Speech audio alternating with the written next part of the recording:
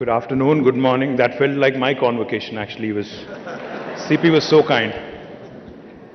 Thank you, respected uh, Mr. Anand Mahindra. Thank you, sir, uh, for gracing us with your presence, the Chancellor of this university, the Vice Chancellor, the guest of honor, Sri Krishna Ella Garu, Dr. Krishna Ella, CP Gurnani, my dear friend, Vineet Nayyarji, uh, Honorable Principal Secretary Jayesh Ranjan, to all the dignitaries on the dais, to the faculty, to the staff, to the non-teaching staff, to the proud parents, and most importantly, to all the graduating students, thank you very much for inviting me and thank you very much for having us here.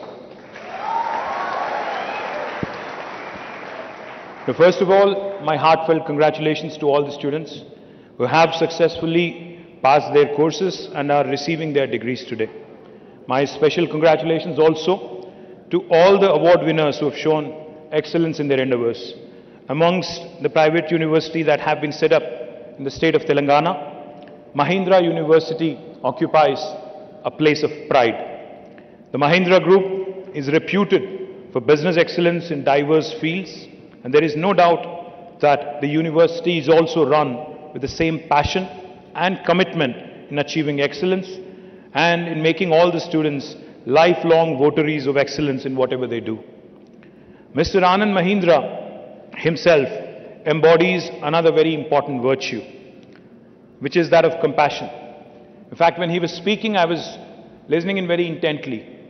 Now, when he talked about a combination of art and science and what he wants to bring about in Mahindra University eventually, a blend of both. I remember a conversation that I had with a friend of mine. Now, this friend of mine had mentioned, had told me that there are two kinds of people in the world artists, and then there are the scientists. Artists who think with their heart, and scientists who basically let their mind dominate. I think what Mr. Anand Mahindra was alluding to today is he wants Mahindra University to create that new blend, that new breed of people which is a good combination of heart and mind, which is a blend of art and science, a new breed which is a combination of artists and scientists, and hopefully all of you and the future classes of Mahindra University, future students of Mahindra University will become an embodiment of that. Good luck to you, sir, on that, uh, on that effort, and I hope I hope you'll set a benchmark. I hope you'll raise the bar in India for other universities, for other academic institutions. Mr. Mahindra's life has been spent in making our country proud by coming out with products and services that are truly world class.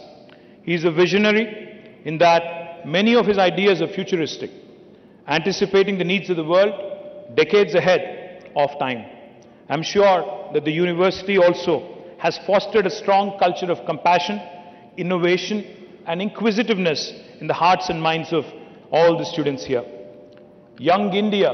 You know, I call India young because, as you all know, if you look at our population today, 1.4 billion India. 50% of India is less than the age of 27.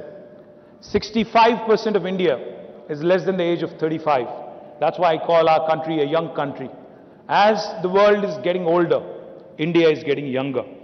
And youth in our country especially are brimming with ideas are brimming with energy, are wanting to take on the world and have an aspiration that is truly global. They have a voice and want to be heard across the world. They are no more passive observers of events going by, but possess a strong desire to be at the center stage and make a difference and an impact globally. In a way, this augurs very well for the country as we are very close to the cherished milestone of 75 years of independence of our glorious nation. These milestones are also occasions when we have to think about our future and how we collectively intend to make the future much more than what the past has been. The youth are going to shape the future immensely. Not only our country's future, but Indian youth have the unique ability and the unique opportunity of shaping the future of the modern world. The youth and how we groom them today, what ideals and aspirations we sow in their hearts and minds, and what kind of responsibilities we bestow upon them at an early age will matter the most in how young people will contribute to the noble task of nation building. While our country, India, has done rather well in the last 75 years in general, yet the reality is we are still a developing nation. We are still, by global standards, a third world country. Somewhere or the other, we seem to have lost track of the most important priorities and have focused on issues that distract us and cause divisiveness amongst ourselves. Let me share a piece of statistic which might be of interest to you.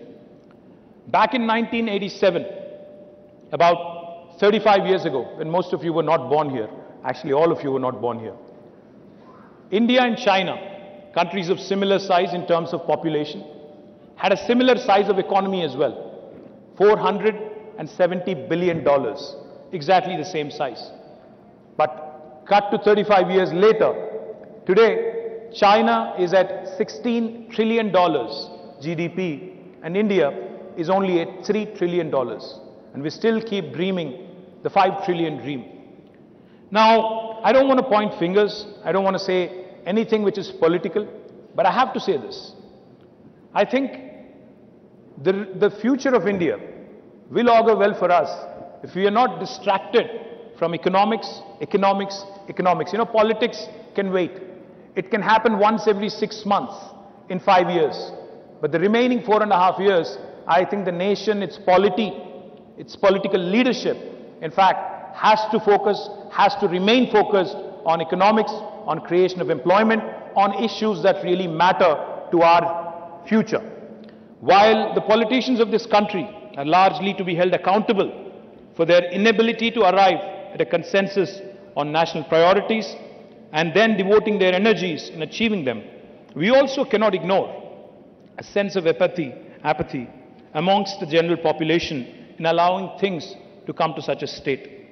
Amongst many of the perceived problems about India, one that is commonly noted is that the brightest minds, implying all the people like you, are working endlessly to solve the problems of the rich, while collectively ignoring, completely ignoring the problems of the poor. As I mentioned, hardly anyone has focused on building houses and toilets for the poor. But there are hundreds and thousands of bright engineers and architects who are constructing villas in gated communities for the rich. It is time that we also change our lopsided priorities and ensure that the task of nation building remains supreme for everyone. While we all speak about India as one nation, which it is, we should also accept another reality that within our country of India, there are 28 different Indias, meaning there are 28 states within India which are extremely diverse and have their own levels of development. There are few states today who have focused on good governance, balancing the priorities between welfare, development, have designed people-centric programs, and have implemented all their ideas and goals with perfect execution. I feel very proud to share with you that our young state of Telangana today has become a role model state in the country for rest to emulate. I know that students of Mahindra University come from different parts of the country, but I would encourage all of you to look at the opportunities that are available in Telangana, in Hyderabad. Telangana is the champion state in promoting innovation and entrepreneurship amongst the youth. Like no other government of the day, our state has invested heavily in creating world-class institutions where young minds who have the passion to make a difference are encouraged in every possible way to make their dreams a reality. It will be a matter of tremendous satisfaction if many of you could join hands with us in creating a future which was envisaged by the founding fathers of our country 75 years ago. I do hope that each of you will step out into this world as young people, not only having great knowledge and skills, but also as young people who want to contribute to the betterment of the society and become change makers.